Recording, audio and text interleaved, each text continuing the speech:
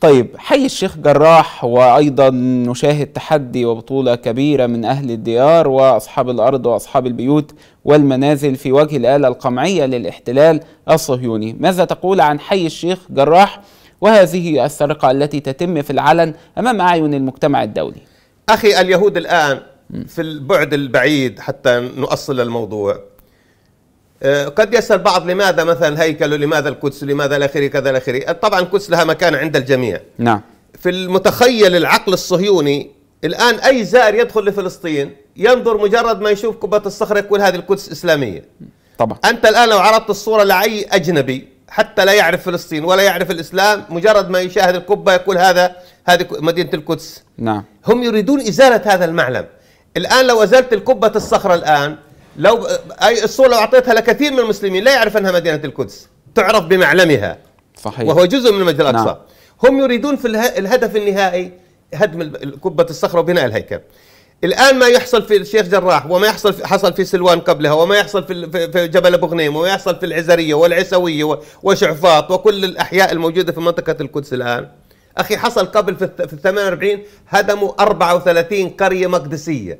وطردوا 60 ألف مقدسي منها وأحلوا محلها الصهاينة. 34 قرية.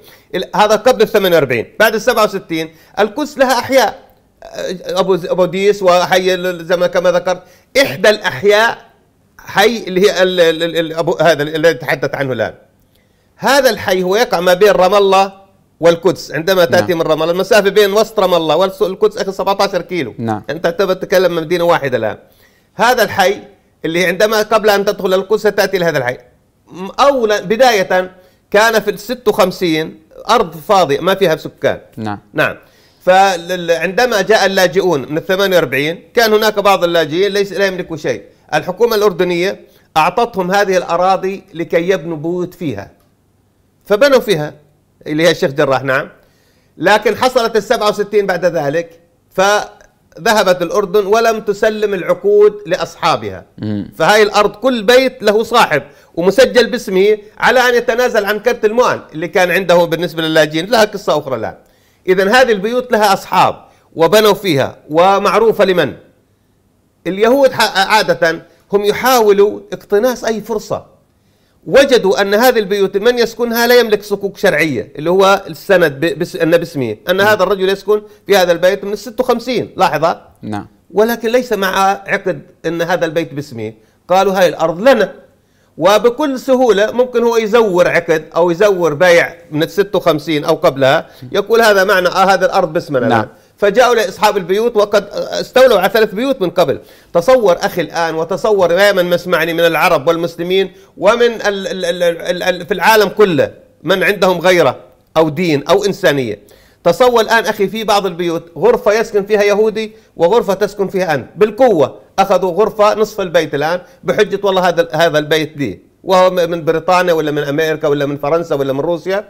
فقبل الأحداث الأخيرة في ثلاث بيوت استولوا عليها بنفس الطريقة ان هاي البيوت لنا وبالكذب والتدليس الان لما أرادوا الآن حوالي 28 بيت حي كامل يسكن أكثر من 500 شخص فيه نعم. قالوا هذا الحي ملكيته تعود لنا الان أخرجوا منها قالوا لا نخرج الآن.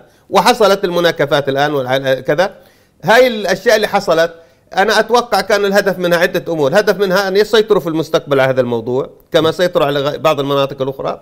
الأمر الآخر لكي يشوشوا على الشباب حتى ينجح الاقتحام اللي في ال 28 فجاءوا في وإن هذا قصة الشيخ جراح أخي من 72 هي ليست جديدة أكثر من من 50 سنة. يا الله نعم. من- عام 1972 72 بدأوا يدعوا هذا الادعاء الكاذب وفي محاكم محاكم بيننا وبينهم بين الصهاينة وإلى آخره.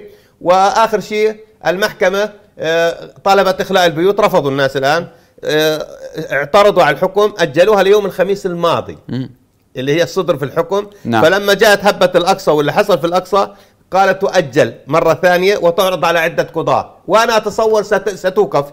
كما هؤلاء شوف أخي الآن إذا وجدوا من يتصدى لهم الآن هم يرموا سهامهم. فإذا وجدوا فرصة يأخذوها. إذا لم يجدوا فرصة وجد تصدي لهم الآن لا يتراجعوا يؤجلوا. يعني النتنياهو مثلا مم. نجح في الانتخابات من أسباب نجاحه. نعم.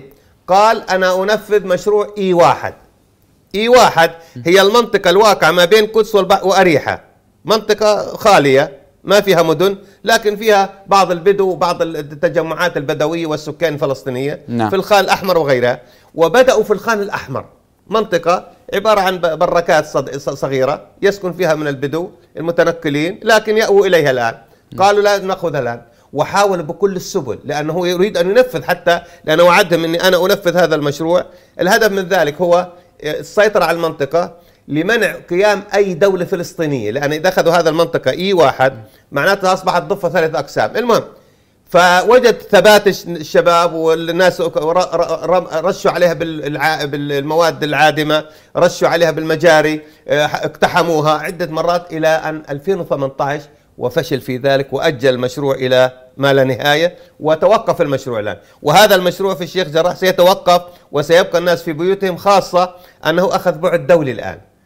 أمس كان يزوره القن- القناصل الأوروبيين وزاروا الموقع وقالوا هذا ظلم وهذا كذا والأردن أوصلت الصكوك لأصحابها الآن. نعم. بواسطة وزارة الخارجيه الفلسطينية والأردنية آه، وجدوا ال- الصكوك الشرعية الاسماء البيوت والآن بعثوا لكل صاحب بيت الصك الشرعي والآن رفعت للامم المتحده لحقوق الآن أخذت بعد دولي الآن.